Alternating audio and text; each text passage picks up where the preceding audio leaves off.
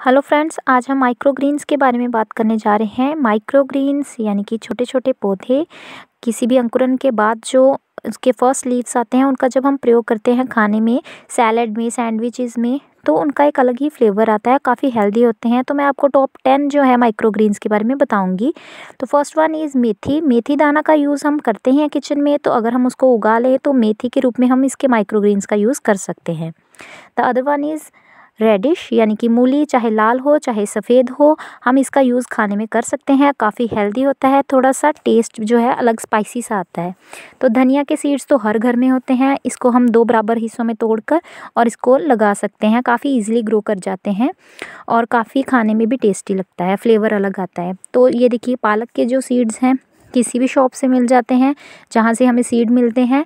तो पालक की जो है, हम ग्रो कर सकते हैं। लहसुन जो है, इसका अलग ही फ्लेवर होता है और इसके माइक्रोग्रीन्स जो है सैंडविच वगैरह में हम यूज़ कर लेते हैं। इसका अलग ही टेस्ट होता है। ब्रोकली जो है सूप वगैरह में यूज़ होती है तो ब्रोकली के सीड्स भी इजीली मिल जाते हैं। तो इसको आप ग्रो कर सकते हैं किसी भी छोटे से कंटेनर में।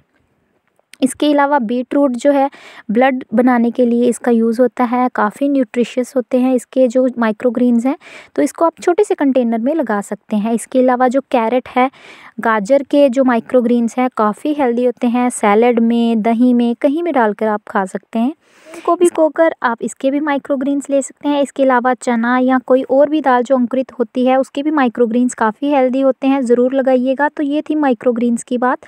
वीडियो अच्छी लगी हो तो लाइक सब्सक्राइब और शेयर तो ज़रूर कर ही दीजिएगा, सब्सक्राइब कीजिएगा, अगर दिल से अच्छी लगी हो।